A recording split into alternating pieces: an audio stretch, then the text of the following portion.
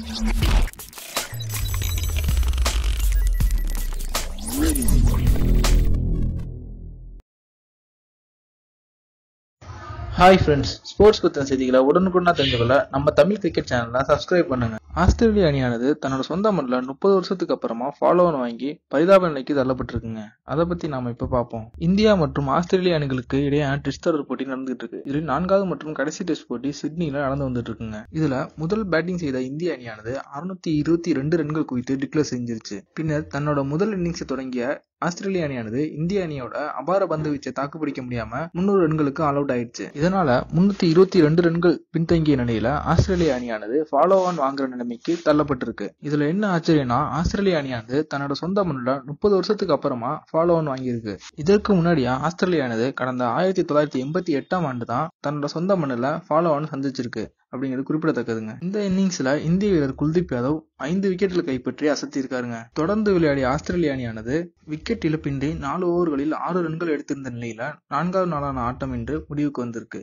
ஐந்தாவது நாளான ஆட்டம் நாளை மீதம் இருக்கின்ற நிலையில் இந்திய அணியானது ஆஸ்திரேலிய அணியின் அனைத்து விக்கெட்டுகளும் கைப்பற்றிவிட்டால் இது மிகப்பெரிய சாதனை வெற்றியாக அமையும் என்பது சந்தேகமே இல்லை. இந்த வீடியோ உங்களுக்கு பிடிச்சிருந்தா லைக் பண்ணுங்க ஷேர் பண்ணுங்க. நன்றி.